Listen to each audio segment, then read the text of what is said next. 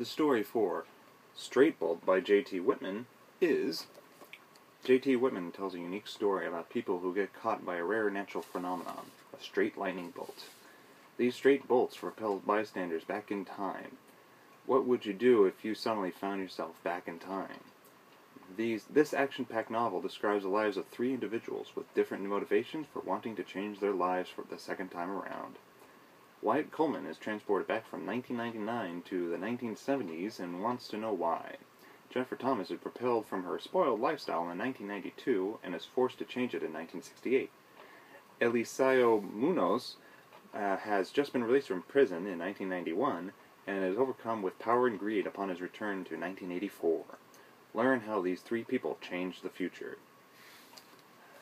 I have to admit, I really did like this book. I thought it was very thrilling very well written. I love the concept of just how nature has a way of sending people back in time through thunderstorms uh, because because scientists has you know described that the only way you could really travel back in time is through a huge amount of energy. It's just energy, but what type of energy nobody really knows. And lightning is is a pretty good way. I mean, Back to the Future even did it. you know lightning bolt.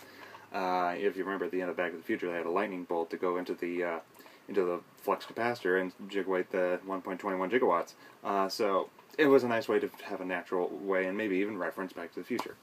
Uh, but the concept and some of the tension, there were actually really good tension sequences and uh, action sequences and chase sequences towards the end of the book. They were very tense, very exciting, and very well written and fun to read.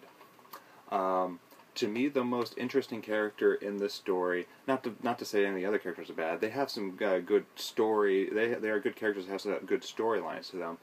But I felt that those other characters, their character development wasn't as well done as this character. Their character developments are good, but it just seems like they changed rather too suddenly.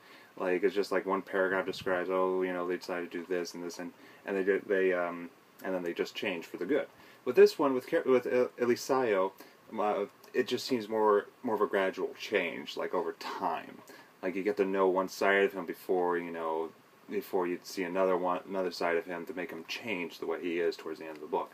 It was really well done. I liked that character. It was really it was also more exciting because of because of what he's done. Because because he's a drug dealer, so he was more exciting in that re respect. Again, not to you know say the other ones were bad too. They had good stories like Wyatt and Jennifer have a nice romance story, uh, which is very touching, and I liked that too and um, and all uh, uh, and all the storylines uh, uh, together were good because of how they interact with each other. How this storyline will affect the other one, and how it will affect the past, the future, and just how everything is just arranged.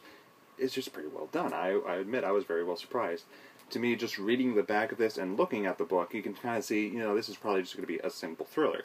To which it is. However, what's in it is very thrilling. I mean, when you really look at it, uh, the books of Dan Brown with the Robert Langdon novels are simple thrillers themselves, but they have a lot more in them that make them grander, much like this one. At first, you'd think, oh, this is just going to be a simple thriller, like I said earlier, but it has a lot more in it to make it grand.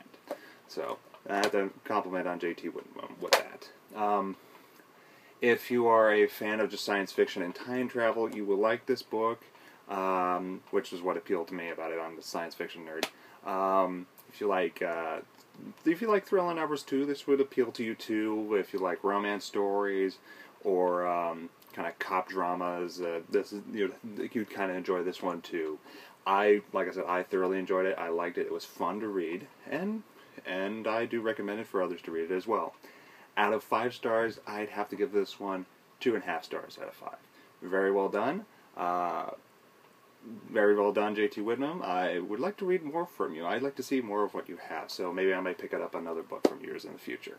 Uh, this book was actually given to me by my mother. Um, she actually met him at a, at a book signing. You know, she actually got a signature from him.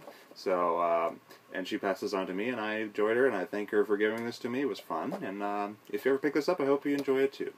Thank you for watching, and have a nice day.